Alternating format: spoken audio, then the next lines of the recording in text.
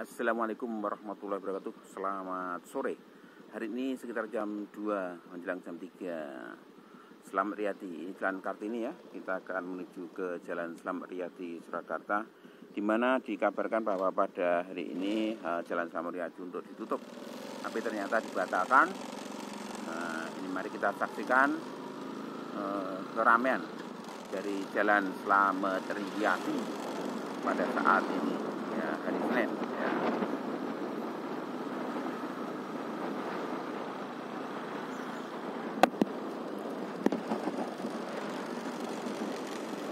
ya. Ini Jalan Samriaji uh, terdapat tulisan ini jual masker di jalan.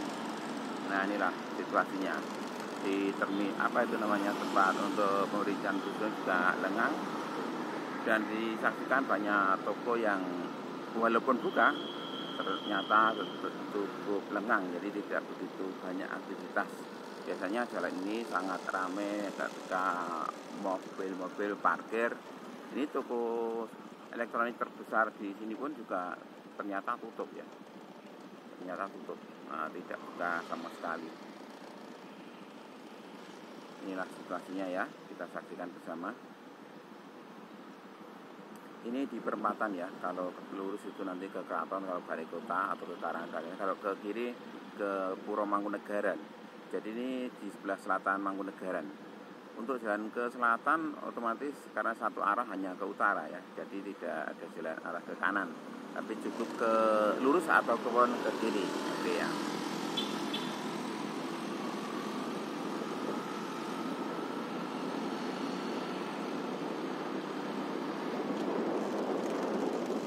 Toko elektronik tutup ya. Kemudian ini saat ini berada di perempatan yang berikutnya. Ini saya pas di McDonald ini. Ini ada perempatan yang ke kanan itu menuju orang menyebut jalan nolongan ya. Jalan nolongan. Kiri kanan juga kelihatan banyak yang tutup tutup. Ini walaupun toko karpet atau toko kursi, toko kasur tutup juga ini. Ini jalan menuju ke Nonongan ya, orang menuju ke Nonongan ya.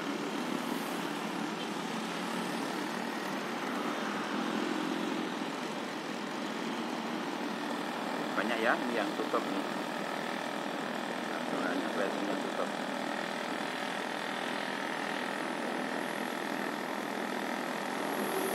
Untuk Studio Sampurna buka hanya dua plat pintu. Jadi biasanya dibuka semuanya ini hanya dua pintu aja yang dibuka. Artinya satu pintu ada beberapa bagian ya. Itu dibuka dua aja. Jadi masih menghormati. Nah ini kelihatan toko listrik tutup walaupun sebenarnya toko listrik tidak setiap saat ini ya mungkin ya. Karena karena bukan pokok seperti makan gitu. Oke ini sudah sampai di perempatan ataupun di belokan uh, tugu Percong Gladak ini patung Samariati.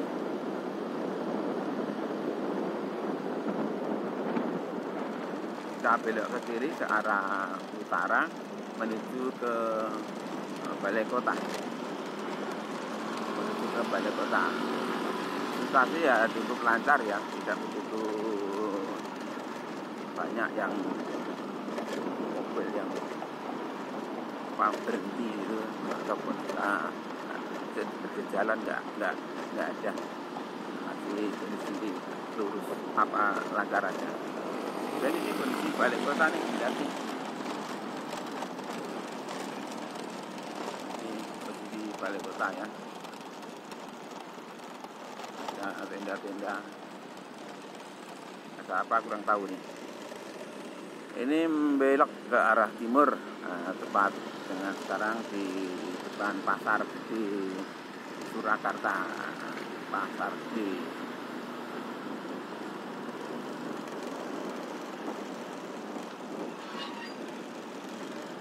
apa masih ya banyak aktivitas di pasar gede walaupun lengang ya sepi. Pembelinya sedikit tapi tokonya malah justru banyak yang buka. Toko atau kiosnya banyak yang buka untuk pasar. Untuk bus sama ya masih ada aktivitas uh, perjalanan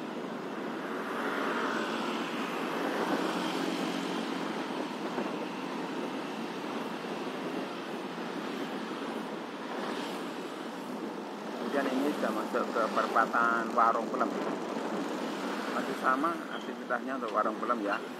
Mobil parkirnya ya hari biasa ya kayak gini. Berjajar-jajar gini seperti hari biasa tidak ada perubahan. Hanya toko kosmetik atau toko tutup apa namanya pintunya hanya dibuka sebagian aja. Enggak keseluruhan. Kalau biasanya buka full. Ini disebut dengan perempatan parung pelem itu ada roti mandarin ya di situ. Kemudian sebelah baratnya itu jual ban. Nah, kalau ke kiri itu nanti menuju ke kepatian kalau ke kiri.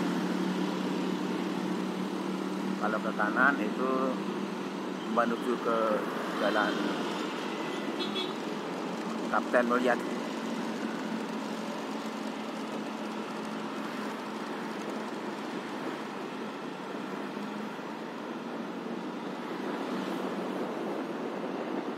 kita masih lurus dan sebentar lagi kita akan masuk ke perempatan Panggung di mana perempatan ini paling ramai karena merupakan pertemuan jalan utama ya.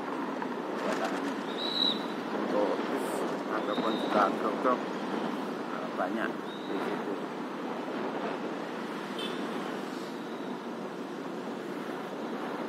Kemudian sebelah kiri tadi ada toko cat yang besar yang masih ini masjid tidak ada tanda apa ditutup hanya memang belum saatnya sholat sehingga tidak ada uh, penghuni atau tidak ada jamaah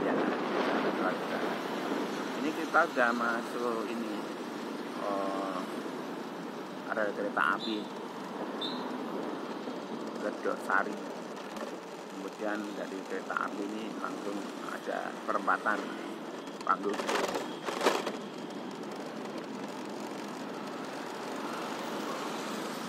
oke demikian ya kita sudah menyaksikan situasi dari uh, Samariati hingga panggung di mana dari panggung ini kita kalau lurus sampai di perumahan Mojojongo kalau ke kanan ke rumah sakit pusat atau ke Juruk ya kalau ke sana ke arah Juruk.